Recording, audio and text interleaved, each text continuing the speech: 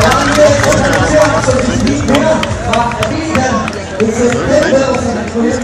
Og tre denne har fået en hjem og hånd på vej ud af senior. Vores overdommer er bønfører og dommer Tom er Tom Sørensen, som tidligere har deltaget selv i Danmark på nogle sidste år, og to gange været i Jyllandsværelsen, og her til på det samme, som vi bruger mens vi gør det, skal vi lige takke de mange hjælpere, der har været her. Ikke mindst den tidligere mangekommende Danmarks stærkeste mand, Flemming Muffi, modtaget i folk Folketingets Flemming.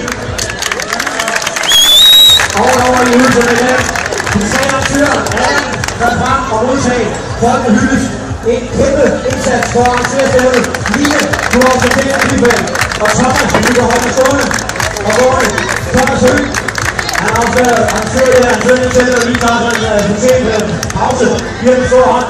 Og så ikke mindst de mange hjælpere, der har slæbt mindst lige så mange kilo, som atleterne i stævnet den omgang her. Jeg skal også lige nå, inden vi får præmieoverrækkelsen, og nævne de mange sponsorer, der har gået ud og afviklet. Og tro mig, når jeg siger, det er det der bedste stævner i Danmark, men vi vil have startet med stævnet 2012. Det er start i Silkeborg, hvor der kom sportevand i Silkeborg lige over på den anden side af torvet. Så er det Hans Silkeborg i Bones. Det var